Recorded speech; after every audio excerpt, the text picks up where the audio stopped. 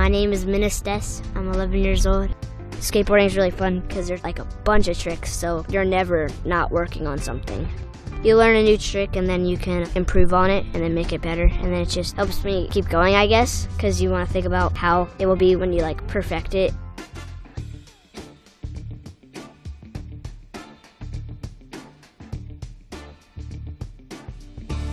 With the spinner, we have to make up the tricks.